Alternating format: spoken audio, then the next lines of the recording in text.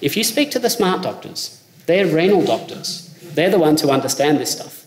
They will tell you that high blood pressure, essential hypertension, is an insulin dependent state. What does that mean? You don't have high insulin levels, you're probably not going to have high blood pressure. And this also explains something else. Ever heard of the keto flu?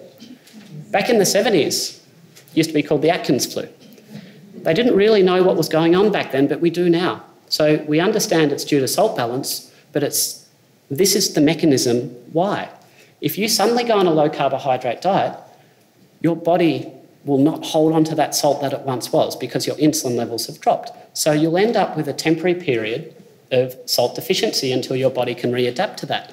Remember, fluid follows salt. You lower the salt level in your blood, you lower your blood volume, you lower your blood pressure, you're probably going to feel dizzy. And we know that amongst other things, that dizziness is one of the key features of what we see in the keto flu.